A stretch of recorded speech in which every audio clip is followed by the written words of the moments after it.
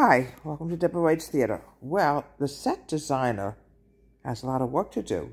They have to be artists. It's a simple fact. Without sets, you don't really have a show. And many times I've directed shows and I had to have a lengthy discussion with the set designer on the phone. At that time, we didn't have computers, obviously. As time went on, things changed. And yes, the set designer has a lot of work to do. I would say, I'm guessing the set designer might have more work to do than even the actors and actresses because he or she has to concentrate on art. They, first of all, they have to draw sketches of what the sets are going to look like. And then they have to start building with help with people who help behind the scenes who help, help build the sets. I remember one time, I wasn't actually in a show, but I helped with the sets. And I remember I helped, I helped paint the sets. And there was a lot of, lot of hard work to do, but it was worth it in the end.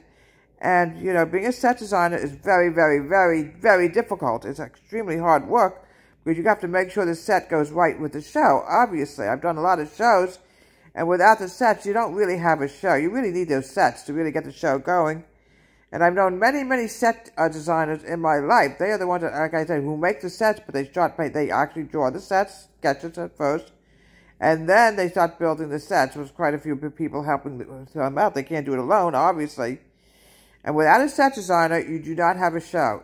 I mean, you can have a show, but it's kind of eh, you know? From Debra Wade's Theater, have a great day.